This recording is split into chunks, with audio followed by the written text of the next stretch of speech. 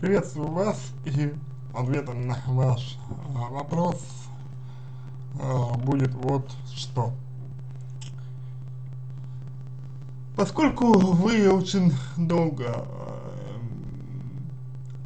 с этой девушкой общались, а поскольку вы очень долго с ней были, много к ней испытывали чувств и испытываете до сих пор, то э, давать конкретных рекомендаций по поводу того, э, что вам делать, я бы лично не стал. Ну, потому что, в конце концов, решить, что с этим делать, нужно вам самому.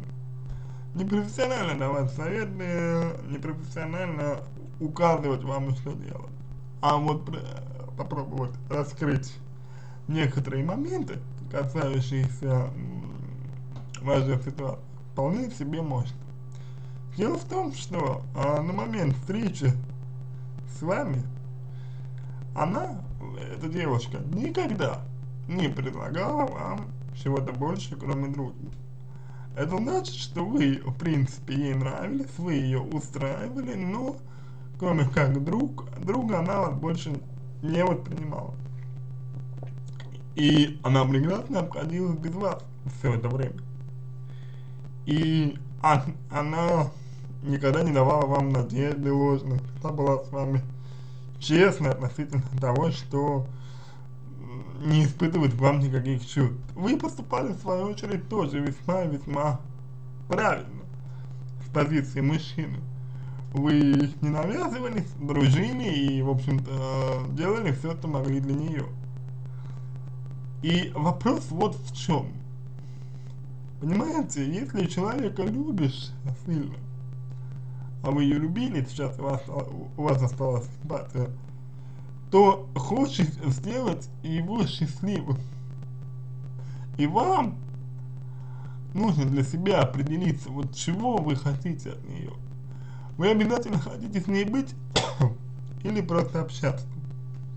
Если просто общаться, то, безусловно, добавляйте к ней, пишите, предлагайте, ничего, ничего плохого в этом нет, я думаю, она будет рада, и вы поговорите, и все, и, возможно, как, как, какой-то контакт наладится, какие-то общие интересы появятся и так далее. Все это возможно. Но если вы обязательно, в обязательном порядке хотите быть с ней, хотите серьезных отношений, то тогда писать не стоит. Потому что, по всей вероятности, безусловно, ничего утверждать на 100% нельзя. Но по всей вероятности, она уже совсем не та, кого вы любили. Она уже другой человек. Потому что люди в этом возрасте как раз таки довольно быстро меняются. Они достаточно быстро меняют свои взгляды, свои ориентиры и так далее. И вы, вероятно всего, вероятнее всего, вы ее не узнаете, когда начнете с ней говорить. И она тоже, если вот вы какое-то время не общались, она тоже будет общаться с вами как, ну, совершенно новый э, человек. И вы, у вас будет такой диссонанс, вы с одной стороны общаетесь вроде бы с знакомым человеком, а с другой стороны вроде бы совершенно не тот, который был, которого вы знали. И это будет э, для вас э, потрясением.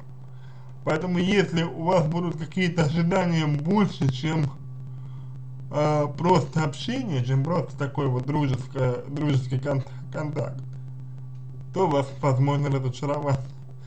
И это разочарование, оно повернет вас в еще большую зависимость от э, отношений с ней.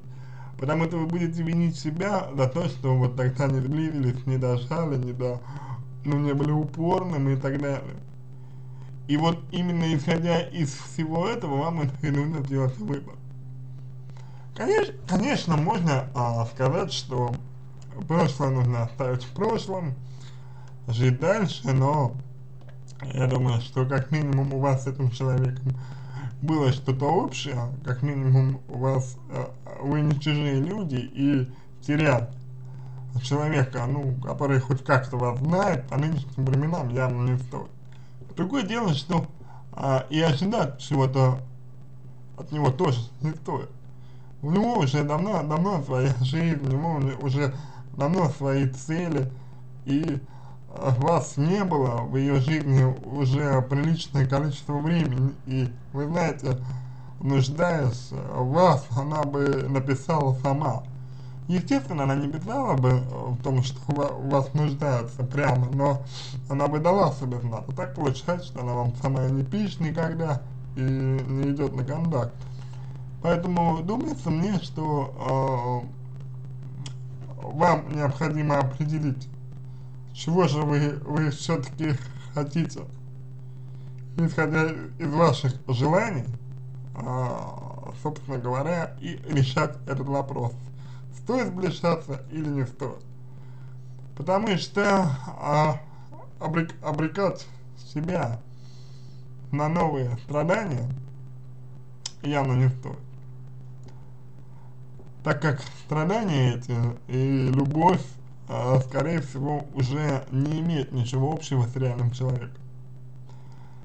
Сказать, что вам нужно встретиться с ней и поговорить для того, чтобы уже окончательно прояснить для себя этот вопрос, а, осталась ли она в прошлом или до сих пор что-то для вас значит, потому что в противном случае вы не сможете жить дальше. Да, стоит. Стоит встретиться с ней, поговорить, возможно, один раз, чтобы уяснить для себя, какой она человек. Далее она. Не осталось ли это каким-то таким, знаете, детской влюбленностью. И если нет, то тогда все-таки попытаться, возможно, а, что-то сделать, чтобы быть к ней ближе. Но если да, то, скорее всего, стоит оставить ее в прошлом и жить дальше. Я думаю, что этим вы окажете услугу и себе, и, и ей. Но а, всегда помните, что с человеком, который вам приятен, который вам не чужой, можно общаться и как друг. Можно общаться и как просто хорошие, добрые знакомые. И, и в будущем, мало ли что будет в будущем.